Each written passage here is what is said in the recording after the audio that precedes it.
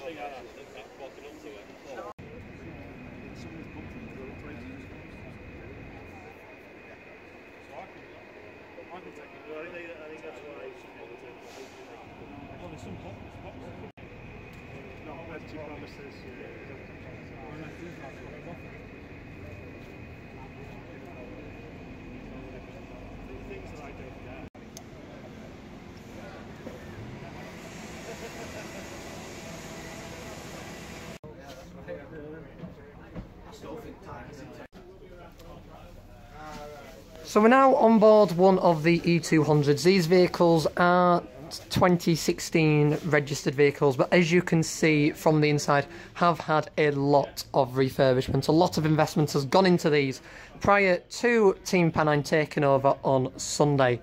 So the vehicle that we are on now is one of the Denby Dart branded service branded buses. The Denby Dart D1 service is replacing the Yorkshire Tiger 233 bus service on very similar timetable to the same frequency from this Sunday. So these vehicles will replace the current allocation that it tends to be um, anything from a mini cadet to a double decker.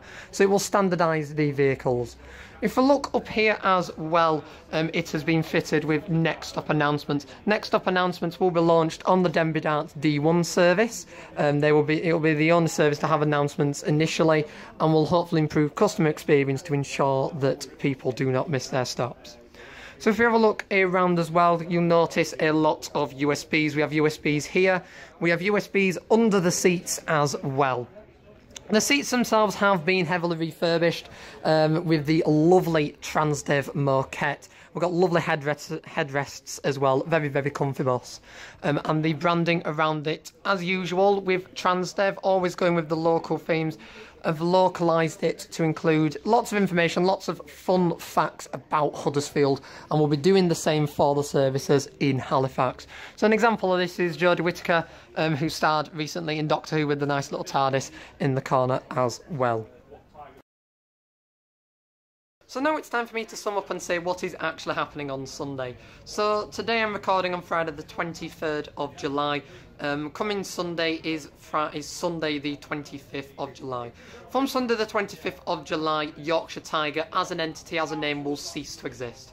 So Yorkshire Tiger um, as in operation, the depots, the um, buses, um, 61 out of 64 buses, and the routes, except the 231 and 232 bus services, will transfer over to Transdev, who are relaunching the company as Team Pennine. So all of the Yorkshire Tiger routes, except the 231, 232, will be operated by buses, either with the orange livery with Team Pennine stickers over, or these lovely, newly refurbished vehicles. So we've got these um, launching initially, these 16 plates that have been refurbished. We've also got a small batch of Mellor Strata buses that are going to be launching in Halifax. So when they launch in Halifax, they will be launching onto local Elland bus services. Alongside these later in the year, they're going to be upgrading the fleet even more with newer E200s um, that are around two years old. So they are going to constantly be upgrading the fleet, constantly adding investment into it, and constantly ensuring that the buses are nice, new, and add a refreshed brand to the operation. So why is Yorkshire Tiger, why is the name Yorkshire Tiger not being kept? Um, it's quite simple really. um, Arriva have kept the name. So Arriva have done this recently with a few different companies and different operations, um, but Yorkshire Tiger name is being retained by Arriva for potential further use. They might use it in a branded route. They may use it in another operation that they set up in the future, but they are keeping the Yorkshire Tiger name. Thus, why it's being relaunched under this brand new Team Pennine brand. So, as I say, from Sunday, and for those of you travelling around um, sort of on Halifax and Huddersfield routes, all routes except the 231, 232 will be operated by buses with pink stickers on. So, it'll be pink Team Pennine buses, usual friendly drivers, um, for those of you on the 233, your service is getting renumbered to the D1 and will feature these lovely, nice E200 vehicles. There's also potential for expansion. Um, I was speaking earlier, I was very lucky to speak to the Managing Director of Transdev, Mr Alex Hornby, who told me about the potential discussion that they're having for expanded services. Um, something that I did hint at um, was potential to expand this route, the D1, up to Barnsley. Um, because for those of you who do remember, before 2005, when Waterloo Depot that Team Pennine had taken over was run by Yorkshire Traction, they used to run a direct Huddersfield to Barnsley service um, that was cut short at Denby Dale. So there's potential for expansions like that. It's going to be very exciting to see what happens, but for now, um, I'll show you some more clips inside this bus. I'll show you some up close of the branding, um, and then we'll have a little look at the existing Yorkshire Tiger fleet.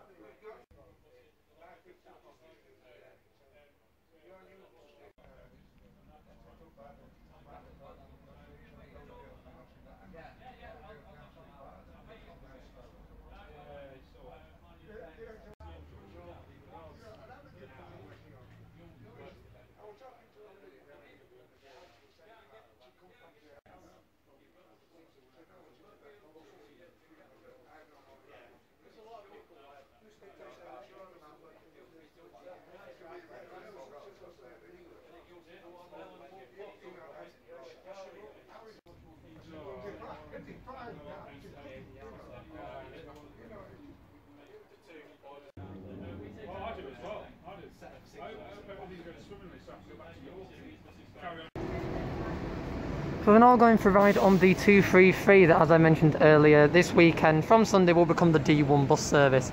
This is probably Yorkshire Tigers' main bus route, running every 30 minutes between Huddersfield and Denby Dale. For this, we've got the lovely Midi Central 627.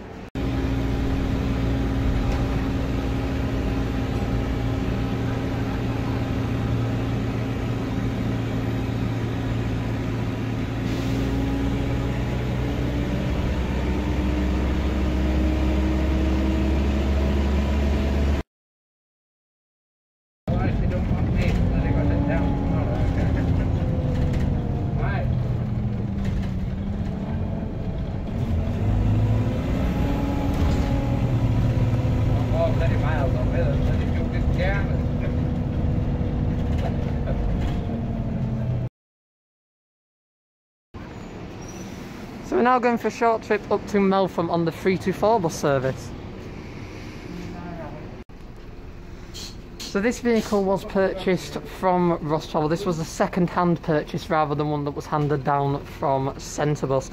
A nice vehicle and on a 58 reg and we'll have a little spin on this up to Meltham and back.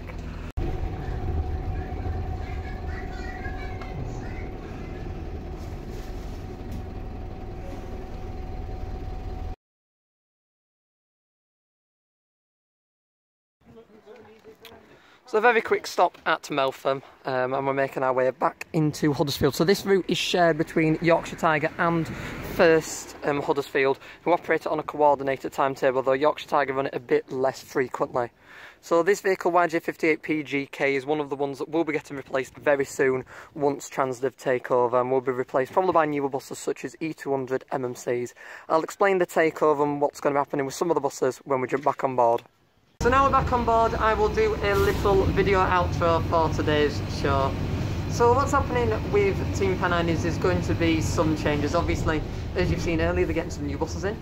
Um, to join those E200s that they're getting at the moment, at the end of next month, at the end of August, some new Mellor Strata buses will be arriving at Elland for use on the local Halifax services. The routes that used to be called the Calder Cubs. So we're going to be taking over on them and the Mellors will be running them. Alongside that, there's changes to the existing fleet. Um, at the end of around October time, there's going to be some new E200 MMCs arriving. Um, I had a discussion, very exciting. They're going to be replacing more vehicles in the fleet that will cascade away. It's also confirmed that from Saturday evening, the three Scania Omnilinks, um, 760, 761 and 762 are the three buses not moving to Team Pennine and those three Scanias will transfer into the Arriva Yorkshire fleet, so they'll be moving into the Arriva Yorkshire fleet.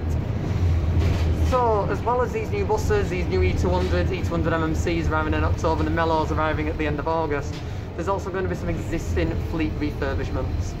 There's going to be at least three temples, possibly some more, that are getting refurbished and repainted. Going to have an interior retrim, so they'll lose their Tiger seating, as you can see behind me. They're getting standard Transdev seating, and they're going to be branded up for the 435, 436 and 437 bus services between Holmfirth and Wakefield. So they're going to be dedicated to those services in the same way the Denby Dart E200s are going to be dedicated to the D1 bus service. So it's going to be very exciting. Alongside that as well, by the end of August, by the sort of in a couple of months' time um, at the most, a third of the existing Yorkshire Tiger fleet, like the one that we're travelling on now, is going to be getting withdrawn and replaced.